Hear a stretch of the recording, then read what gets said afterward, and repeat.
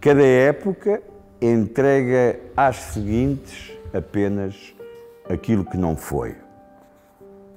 É um tema de reflexão interessante, mesmo para a arte contemporânea, para as suas uh, raízes, para os seus futuros, para as suas ligações, enfim, para os inúmeros atores que a fazem todos os dias das mais diversas gerações, porque sendo certo que toda a arte é contemporânea, todos os artistas que estão vivos e trabalham, mesmo aqueles que não merecem o respeito da maior parte ou a atenção da maior parte de nós, também são contemporâneos. Por ser contemporânea, uma obra de arte não é necessariamente boa, interessante, incontornável. É apenas contemporânea porque é feita hoje. Tintoretto, Bruce Nauman, Picasso, Andy Warhol, são todos contemporâneos. E eu também.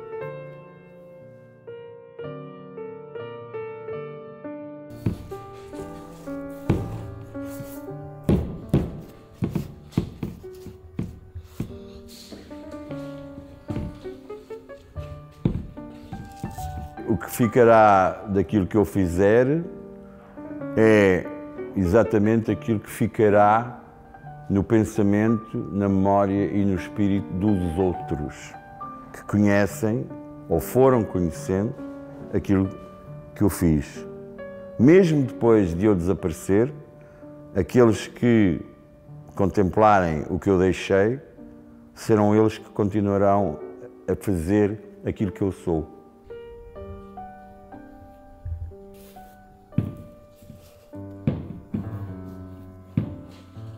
Uma coisa que me toca particularmente, nunca se sabe exatamente porquê, não é? Poderíamos dizer, com alguma razão, do ponto de vista histórico, ah, a pintura de paisagem é anacrónica.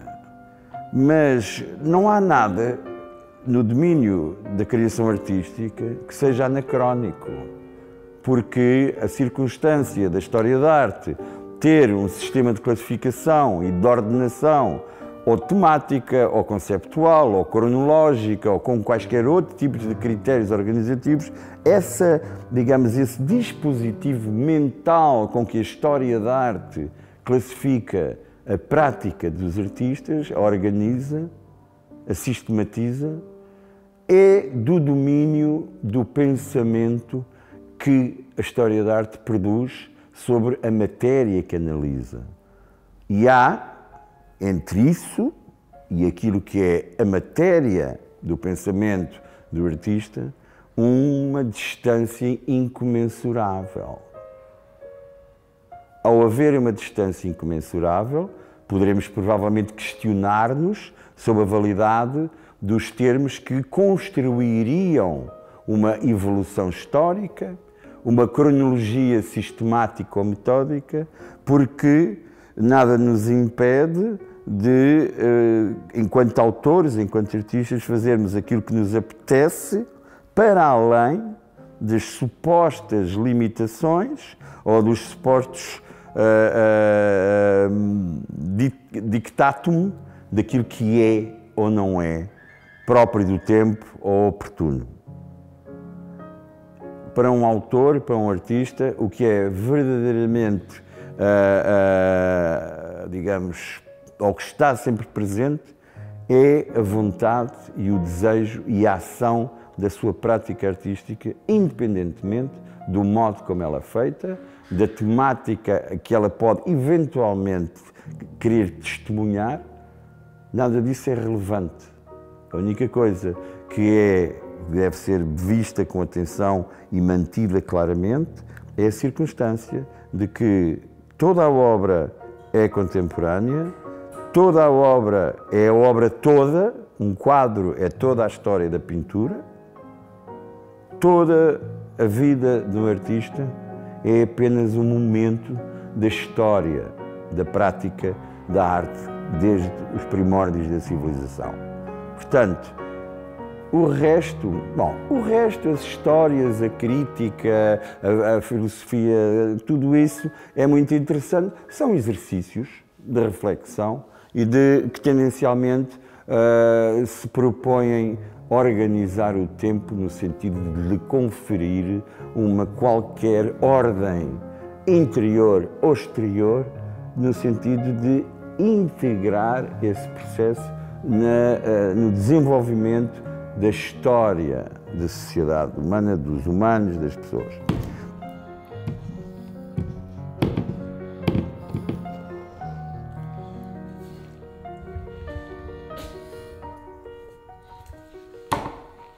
uma escultura minha de bronze ou com luzes fluorescentes, uma pintura sobre uma porta encontrada no lixo ou uma paisagem pintada em tela, são todas obras de, de uma inevitável e incontornável natureza clássica. Porque esse, essa posição é uma posição que não está plasmada na obra enquanto objeto, mas sim no desenho mental e espiritual do seu autor, neste caso eu. Eu estou particularmente interessado numa, uh, numa prática de continuidade, não estou minimamente interessado numa prática de ruptura e de novidade.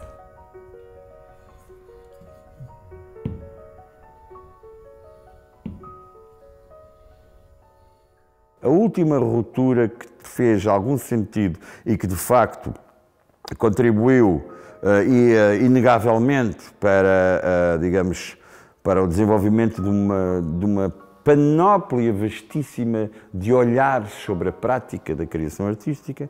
E isso aconteceu em 1917. Foi um orinol, foi feito por um rapaz que por acaso até tinha muito jeito para a pintura a óleo. foi-lhe necessário que isso acontecesse, não é?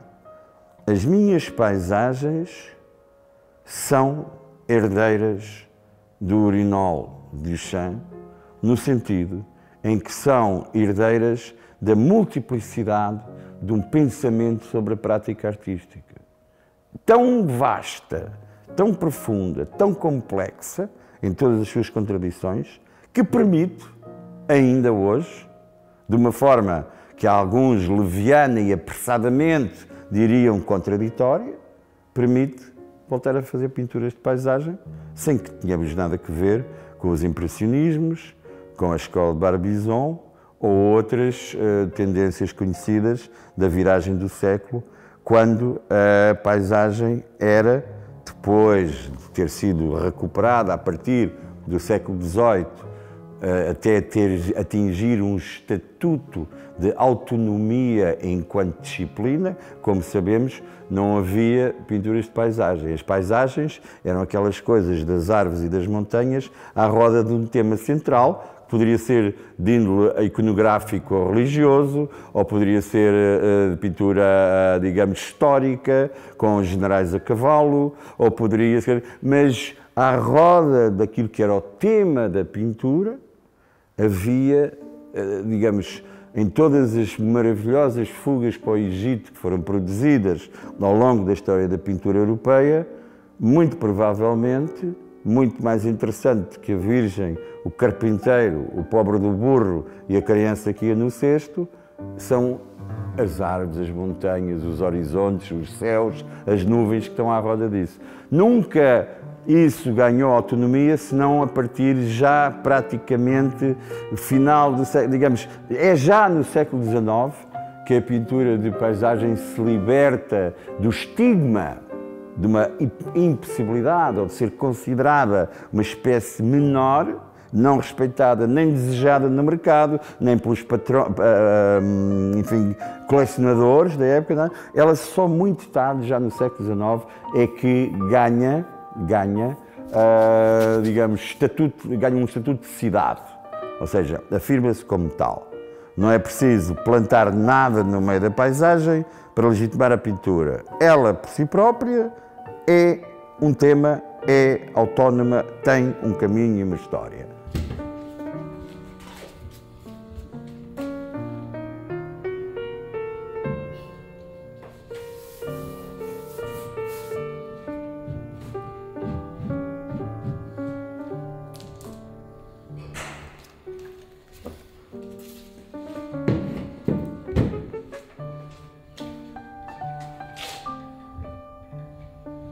Eu continuo a pintar paisagens que são abstratas, mas uh, o que é que não é abstrato em pintura?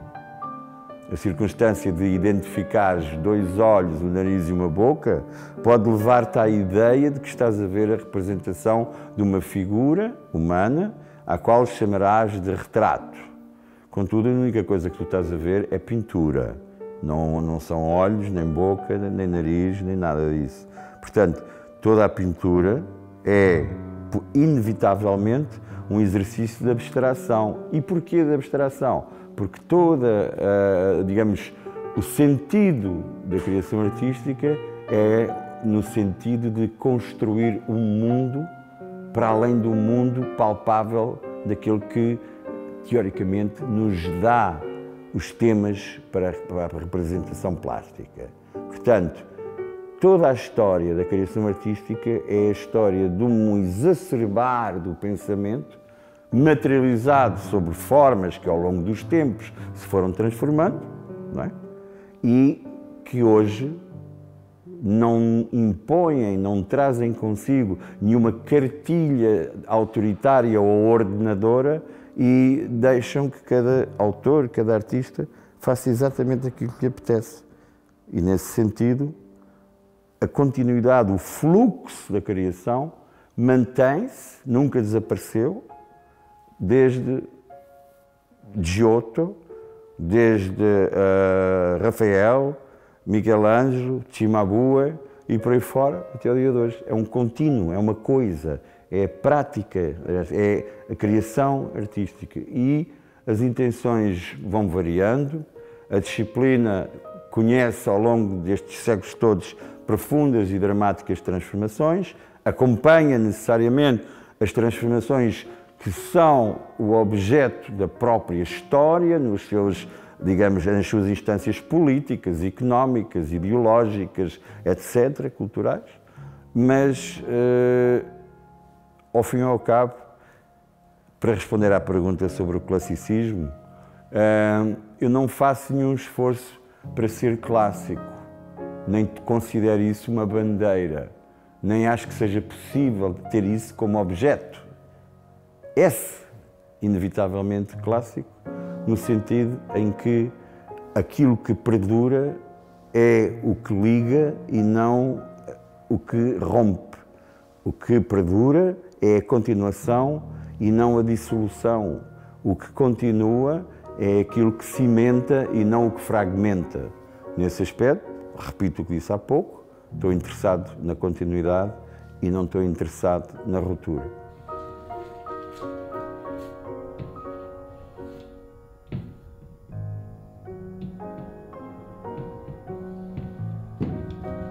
não olho de forma diferente do ateliê para o lugar de expor, nem o lugar nem o tempo uh, me fazem olhar para o meu trabalho de forma diferente. Tive agora em Málaga uma experiência muito real nesta, digamos, nesse particular, porque em Málaga expus 264 obras de minha autoria que vêm desde o momento, desde os, enfim, desde os primórdios da minha atividade, nos anos 80 até à data. E cada uma delas foi como se tivesse acabado de a fazer. Como se tivesse acabado de a fazer.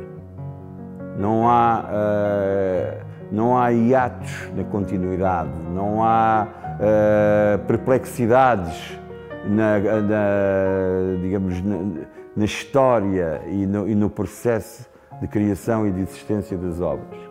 Todas são iguais, todas são uma só e nenhuma delas é igual às outras todas. Portanto, não tenho olhar diferente sobre o meu trabalho em nenhuma circunstância.